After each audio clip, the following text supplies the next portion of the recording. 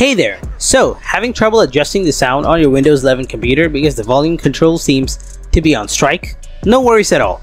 I've got you covered with some simple fixes. Let's dive right in and get that volume control back on track. Solution 1. Restart Windows Explorer. Right click on taskbar and select Task Manager. Scroll down and find Windows Explorer. Right click on it and select Restart from the pop-up menu. Once it's restarted, see if you can change the volume on your computer. Solution 2. Restart Windows Audio Service. Start by clicking on the search icon and typing in CMD.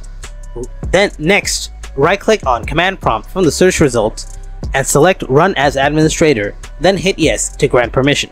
Now, in the Command Prompt window, type in net space stop space audio SRV and hit enter. After that, type in net space start space audio SRV and press enter.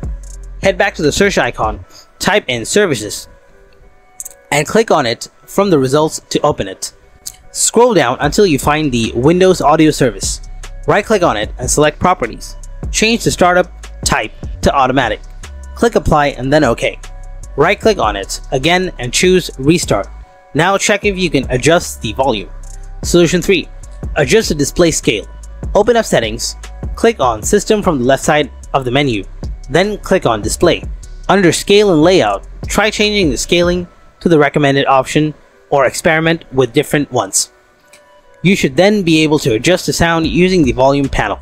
And there you have it. That's how you can solve the issue of the volume button or control not working in Windows 11 devices. If you found this video helpful, then subscribe to our channel and don't forget to drop a like. And if you have any kind of questions, then please ask them in the comment section below. Thanks for watching.